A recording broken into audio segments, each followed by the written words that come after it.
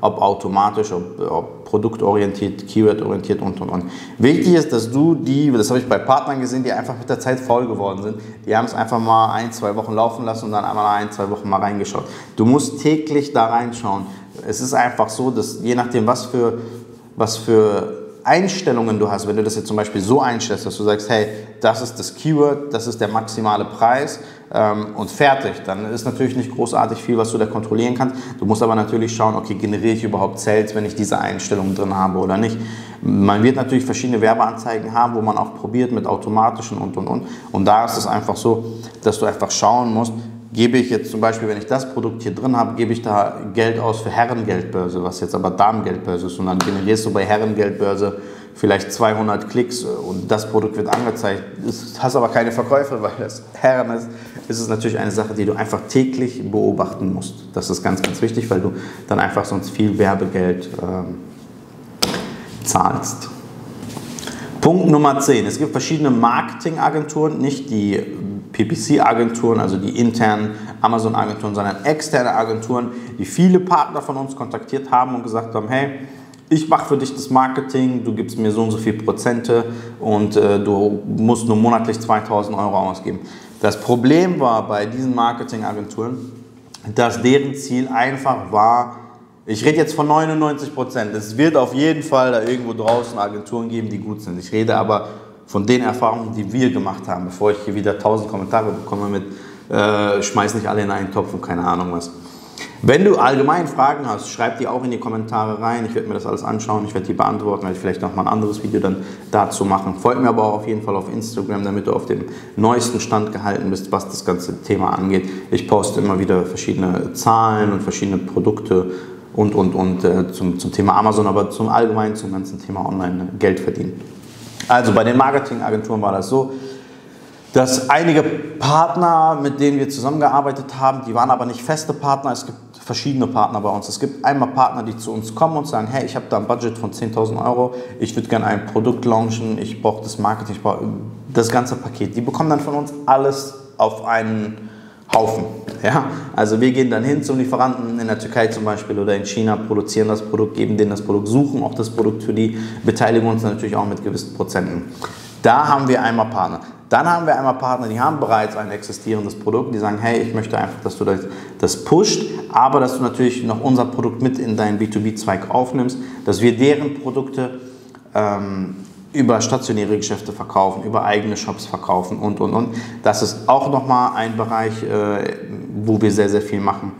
Und da ist es einfach so, dass ich von den Partnern oft gehört habe, dass die vorab mal mit Agenturen zusammengearbeitet haben. Das sind Amazon-Werbeagenturen oder allgemein Werbeagenturen, ähm, dass die ein monatliches Budget hatten und dann einen Vertrag eingegangen sind auf ein Jahr, zwei Jahre, wo die monatlich 2.000 bis 5.000 Euro bezahlt haben. Und wenn du so einen Vertrag eingehst, wo du sagst, ich zahle jetzt jeden Monat auf ein, zwei Jahre 2, 3, 4, 5.000 Euro, kann das natürlich ganz, ganz schnell nach hinten losgehen. Es kann auch gut laufen, weil wenn du zum Beispiel dein Werbebudget auf 2.000 Euro monatlich setzt und du generierst diese Sales dann ist das ja kein Thema, dann kannst du auch 50.000 Euro im Monat ausgeben. Das Problem war aber, dass die ein Produkt hatten beispielsweise, die sind zu der Werbeagentur gegangen und haben gesagt, ich würde gerne das Produkt pushen. Die haben gesagt, ja klar, machen wir, ähm, dein Budget sind 2.000 Euro im Monat, hier ist ein Vertrag für eineinhalb Jahre oder zwei Jahre oder ein Jahr. Dann war das so, dass die das zwei, drei Monate bezahlt haben und dann gemerkt haben, hey, das rechnet sich alles gar nicht, ich mache nur Verluste. Die haben aber dann noch diesen Vertrag, dass die noch ein, zwei Jahre diese, dieses Werbebudget zahlen müssen. Das heißt, die mussten weiterhin, sind vertraglich gebunden, jeden Monat 2.000 bis 5.000 Euro zu zahlen, obwohl dieses Produkt schon gar nicht mehr existiert. Das hat einfach nicht funktioniert. Das waren einfach nur Verluste. Und das ist natürlich dann immer wieder, das sind Rechtsstreitereien und, und, und alles Mögliche. Das sind Sachen, worauf ihr aufpassen müsst. Das heißt, wenn jemand zu euch hingeht und sagt, hey, du musst dieses Werbebudget einhalten für die nächsten ein, zwei Jahre und das vertraglich und alles, würde ich immer die Finger von lassen. Das ist immer einfach zu gewagt. So, was du mit denen aushandeln kannst, kannst du ja mal versuchen, wenn, wenn dich so eine Agentur mal kontaktiert und sagt, kannst du das für uns machen?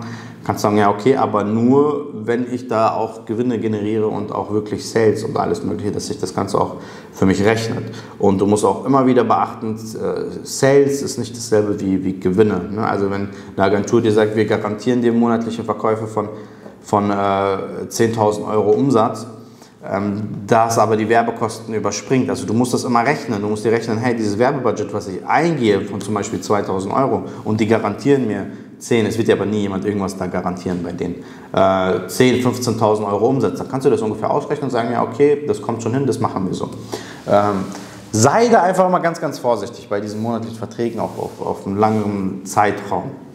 Bei uns ist es so, wenn wir zum Beispiel mit Partnern etwas aufbauen, ähm, rechnen wir vorab immer alle Kosten. Das heißt, wenn ein Partner sagt, hey, ich würde gerne bei Amazon starten, ich habe aber kein Produkt, gar nichts, dann suchen wir das Produkt, alles Mögliche, rechnen dir einmalig aber alle Kosten aus. Das können dann 10.000 Euro sein, das können 5.000 Euro sein, das können 50.000 Euro sein. Es kommt immer darauf an, was für ein Produkt du haben willst. Du kannst natürlich nicht erwarten, dass du äh, für 5000 Euro, wenn du ein Produkt launch mit Werbeanzeigen, Produktkosten, Import, äh, Analyse und, und, und alles drum und dran, das ganze Paket, kannst du nicht erwarten, monatlich 70.000 Euro umzusetzen. Ne? Das heißt, je nachdem, was du erwartest, äh, passen wir das Produkt natürlich auch an. Punkt Nummer 11. Äh, Probleme bei, bei Schulungen. Wir haben oft Personen gehabt, die zu uns gekommen sind, die haben woanders eine Schulung gebucht. Bei uns ist es so, dass wir nicht direkt, wir, haben, wir schulen natürlich auch die Person, aber bei uns ist einfach primär im Vordergrund, dass wir zusammen mit den Partnern ein Business aufbauen, dass wir gemeinsam dieses Produkt auf den Markt bringen und in dem Prozess lernst du natürlich alles. Es gibt wir haben viele Partner gehabt. Ähm, ich will jetzt keine Namen über andere Coaches oder sonst was nennen, weil Schulungen sind gut. Also es ist nichts nicht Schlechtes. Es kommt ja auch immer auf die Person an. Wie setzen die das um, was die in den Schulungen gelernt haben?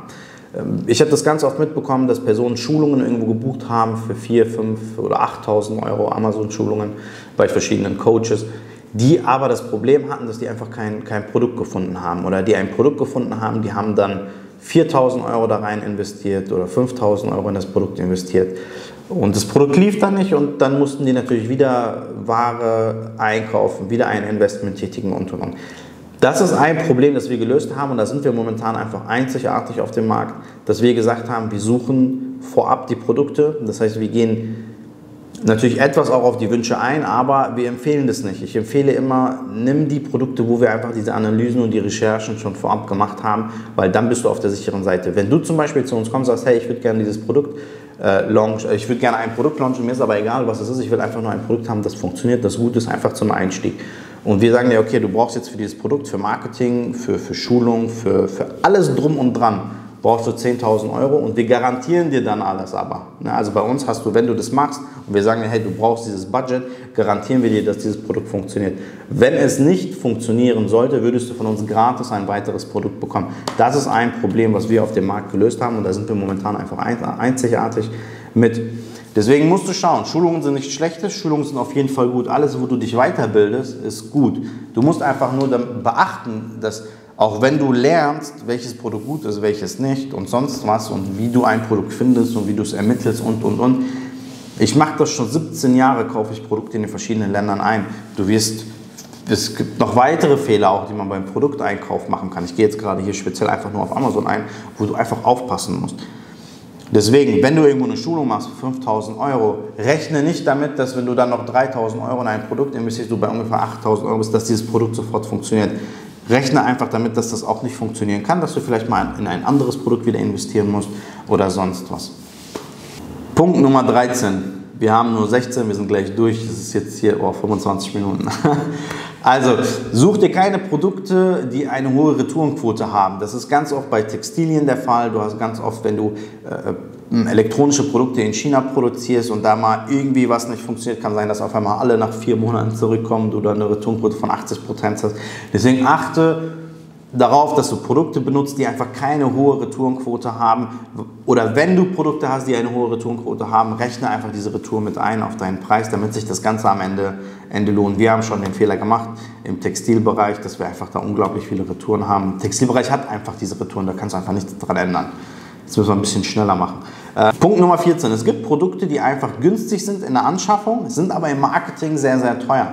Das ist ganz oft im Handyzubehör, im, im Laptop, Taschenzubehör oder sonst was. Also in diesem ganzen Elektromarktzubehör, weil er einfach vom, vom Preis her, es ist sehr, sehr günstig, so eine, so eine Silikonhülle oder sowas zu kaufen, zu produzieren. Wir produzieren die für 11 Cent, die kannst du irgendwo auch schon für 20 Cent, 25 Cent kaufen, bei Alibaba vielleicht für 50 Cent oder so. Ähm, du hast sehr, sehr geringe Einkaufspreise und ein sehr geringes Budget, um da reinzugehen. Aber der Markt ist schon so übersättigt und der Markt es ist einfach so teuer, dass du da auf die erste Seite kommst mit diesen günstigen Produkten, dass du das gleich äh, sein lassen kannst. Oder du hast da eine Fehlinvestition. Ich habe viele schon erlebt, die uns angerufen haben und gesagt haben, ja, ich habe mal ein Produkt probiert und das war fast immer im Handyzubehör, Laptopzubehör, irgendeinem Elektrozubehör, ähm, die das bei Alibaba bestellt haben, 1000, 2000 Euro, 500 Euro und gesagt haben, ey, ich habe gar keine Sales, ich habe schon so viel in Werbung investiert und, und, und.